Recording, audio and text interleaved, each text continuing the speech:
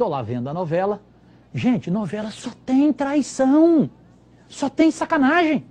Todo mundo, nesse dia que eu fui assistir, todo mundo traía na novela. Pô, é um bacanal. Cara, é melhor transmitir ao vivo da Albertina em Ribeirão Preto. Da casa de prestadoras de serviço. É, transmite ao vivo. Porque o país não é isso. E principalmente a família brasileira não é este o retrato.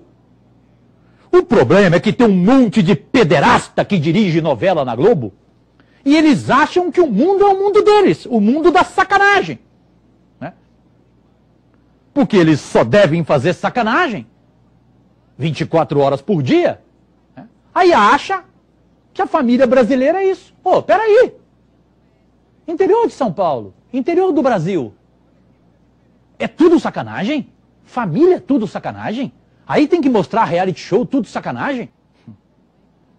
Eu tenho amigos admiráveis, como o Pedro Bial. Reencontrei o Pedro Bial no Rio, foi uma alegria, ele me deu um abraço, eu estava com um monte de amigo, eu dei um abraço nele. Meu amigo de 98 na Copa, ficávamos juntos todo dia, saímos para jantar. Adoro ele, um ser humano extraordinário.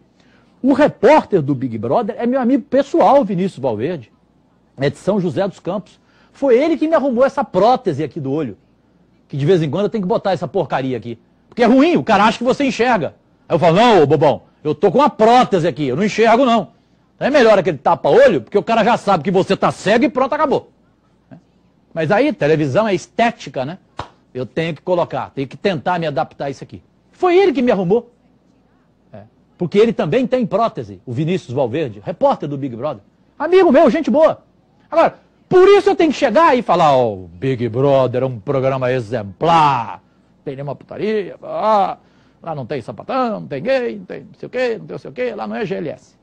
Lá é um exemplo, lá é o, é o que é, retrata a família brasileira. Não.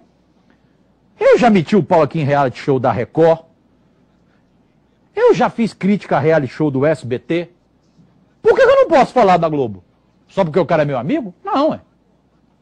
Tem que saber separar as coisas. Por isso eu falei ontem aqui sobre o Galvão Bueno. Eu adoro o Galvão Bueno. Pô, mas é um saco o Galvão querer impor a juventude que não tem memória, que não sabe a verdadeira história de João Avelange, de Zagalo, né? querer impor a uma juventude que esses caras são exemplos.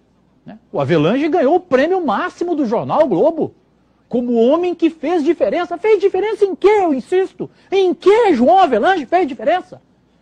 Um homem que era pobre, paupérrimo, quebrado, em Minas Gerais, que da noite para o dia virou bilionário, corrupto, safado, do futebol. E aí, não, temos que. Exemplo de homem. Senhor.